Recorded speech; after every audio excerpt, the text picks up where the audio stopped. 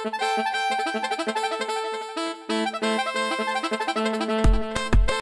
welcome back to my channel मैं हूँ सरोज और आप सब देख रहे हैं जिनीज वर्ल्ड तो गाइस जैसे कि आपको पता ही है आज का वेडिंग सीज़न चल रहा है और वेडिंग सीज़न में हम अपने हेयर के साथ कुछ ना कुछ एक्सपेरिमेंट करते रहते हैं। तो कभी कर्ल करते हैं कभी स्ट्रेट करते हैं। तो मैं भी आज एक ऐसा ही वीडियो लेके आई हूँ आपके सामने जो आपको इस वेडिंग सीज़न में काफ़ी हेल्पफुल रहेगा। तो जैसे कि आपने थंबनेल देख ही लिया होगा कि आज हम अपने बालों को करेंगे कर्ल तो आज हम स्ट्रेटनर की हेल्प से अपने बालों को कर्ल करने वाले हैं। अगर आपके पास कर्लर नहीं है तो आपको कोई टेंशन लेने की ज़रूरत नहीं है तो आप स्ट्रेटनर से आराम से अपने बालों को कर्ल कर सकते हैं और किसी भी फ़ंक्शन के लिए एक अच्छा सा लुक क्रिएट कर सकते हैं। तो चलिए स्टार्ट करते हैं। तो गैस हमें एक छोटा सा सेक्शन लेना है सबसे पहले बालों का और उसको ऐसे स्ट्रेटनर के चारों ओर घुमा के उसके अंदर से ऐसे बाहर को निकालना है। और अब धीरे धीरे इसको नीचे की तरफ़ स्लाइड करना है स्ट्रेटनर को। और आप चाहें तो इससे कम भी बाल ले सकते हैं, क्योंकि जितना कम आप बालों का सेक्शन लेंगे, उतने अच्छे से आपके बाल कर्ल होंगे और बालों का वॉल्यूम भी ज़्यादा दिखेगा।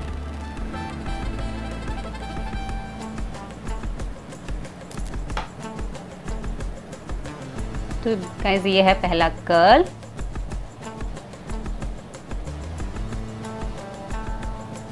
जो कि बहुत प्यारा लग रहा है। तो ऐसे ही हम अपने सारे बालों को कर्ल करते जाएँगे।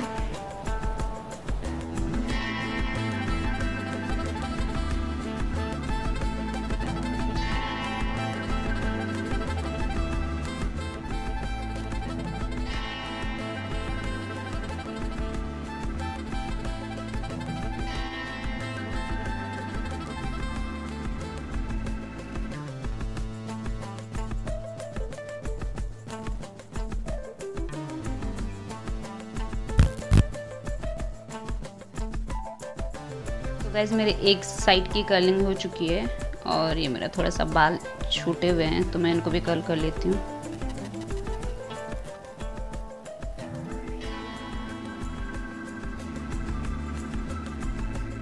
ये है मेरी कर्ल है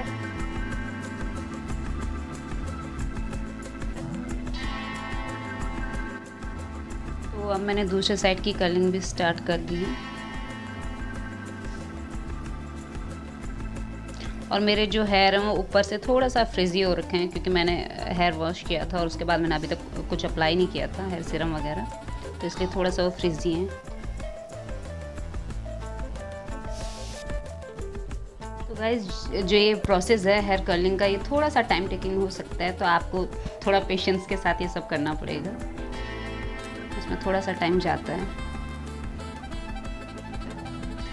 तो ये मेरे ऑलमोस्ट हेयर कर्ल हो चुके हैं।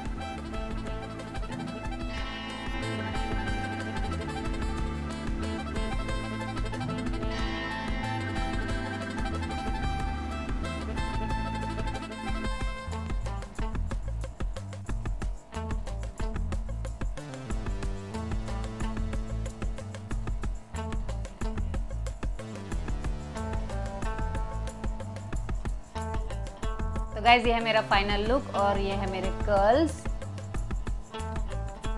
तो गाइज़ अगर आपको अपने कल को लॉन्ग लास्टिंग रखना है तो आप कोई भी अच्छा सा हेयर स्प्रे यूज़ कर सकते हैं.